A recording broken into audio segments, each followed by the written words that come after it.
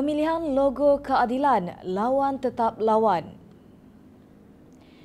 Dalam satu program Jelajah Harapan di Pasir Gudang yang menyaksikan kehadiran ribuan penyokong pengerusi Pakatan Harapan Tun Dr. Mahathir mengumumkan penggunaan logo Parti Keadilan Rakyat PKR setelah pendaftaran parti itu tidak mendapat kelulusan Jabatan Pendaftaran Pertubuhan ROS.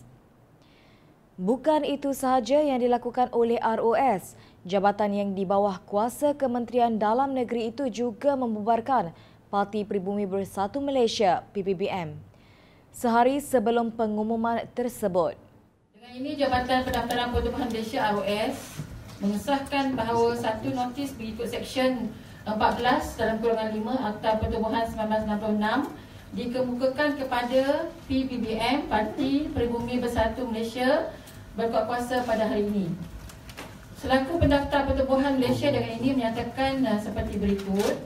Satu perintah menurut exception 14 dalam kurungan 5 Akta Pertubuhan 1966 kepada Parti Peribumi Bersatu Malaysia PPBM telah dikemukakan pada jam lebih kurang 12.30 tengah hari tadi. Perintah tersebut telah dialamatkan bagi maksud serahan kepada Setiausaha Agung PPBM Perintah tersebut adalah suatu perintah pembubaran sementara ke atas PPBM yang dikeluarkan menurut Seksyen 14 dalam Perundang 5 Akta Pertubuhan 1966. Logik akal kita dapat mentafsir dengan jelas apa yang ingin dicapai oleh UMNO Barisan Nasional melalui taktik kotor mereka menjelang pilihan raya umum ke-14 ini. Selepas ROS membubarkan PPBM yang dipimpin Tun Dr. Mahathir Mohamad, Datuk Seri Najib Razak pun membubarkan parlimen.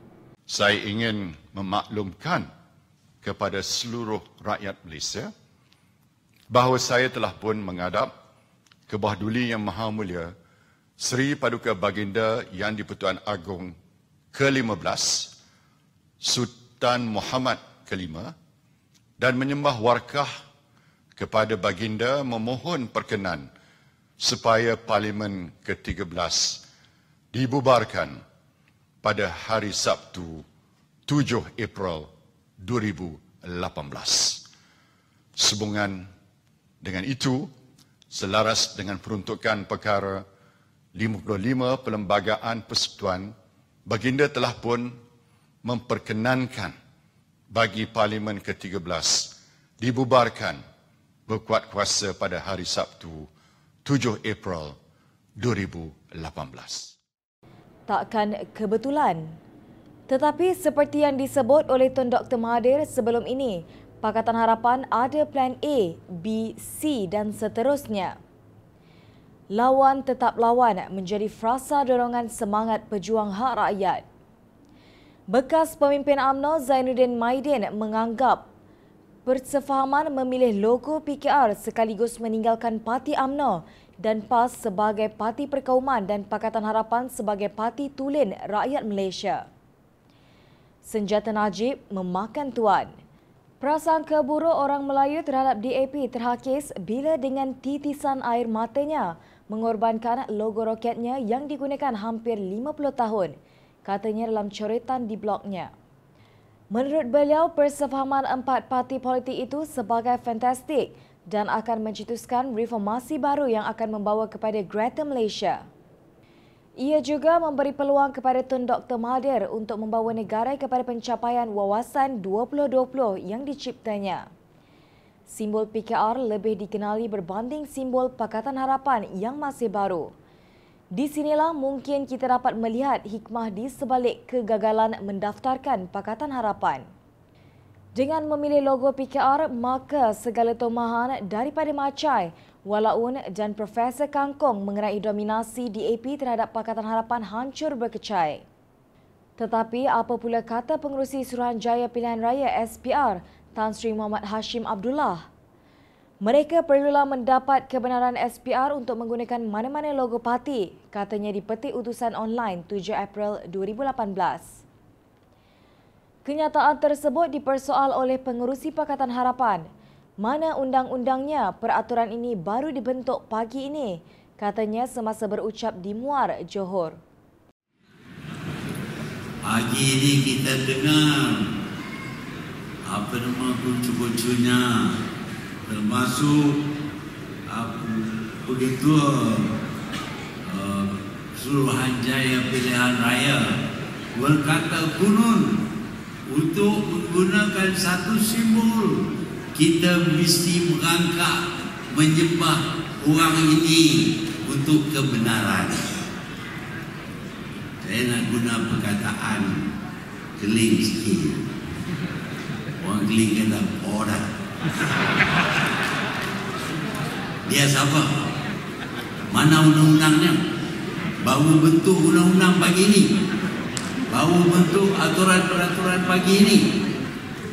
Dan semua negara mesti terima keputusan yang dibuat oleh satu orang ini. Tuan-tuan dan puan-puan kita tidak akan terima. Mengulas mengenainya, Tan Sri Muhyiddin Yassin yang pernah menjadi pengarah pilihan raya umum Barisan Nasional menjelaskan calon ingin menggunakan logo parti lain hanya memerlukan surat watikah. Setelah dikecam, Hashim berkata kenyataan beliau telah disalahertikan. Kenyataan tersebut ditularkan oleh media milik AMNO. Maknanya media tersebut telah mencanangkan berita tidak benar. Takkan pengerusi SPR tidak tahu peraturan pilihan raya umum?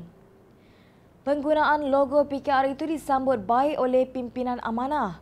Pengerusi Pakatan Harapan Kelantan, Husam Musa mengarahkan semua pihak menurunkan bendera parti masing-masing dan menggantikannya dengan bendera PKR. Kita telah berjaya atasi taktik kotor Najib apabila kita setuju guna logo PKR. Ini bukti kita bersatu dan disiplin dan layak ambil alih Malaysia dan urus Malaysia sebaik-baiknya, katanya seperti dipetik Malaysia Deadline 7 April 2018. Ayanisnya frasa lawan tetap lawan yang sering digunakan oleh Ketua Umum PKR Datuk Seri Anwar Ibrahim untuk menentang UMNO Barisan Nasional. Kini turut dikongsi oleh pemimpin PPBM setelah mereka keluar dari UMNO. Firman Allah Subhanahu Wa Taala dalam surah Al-Imran ayat 54 terjemahannya. Dan mereka merancang tipu daya Allah juga merancang. Dan Allah sebaik-baik perancang membalas tipu daya surah Al-Imran ayat 54